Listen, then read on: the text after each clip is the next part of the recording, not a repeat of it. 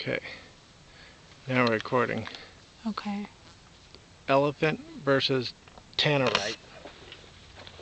Do I need to, do you want me to just keep it on the elephant? Yeah, don't, don't move.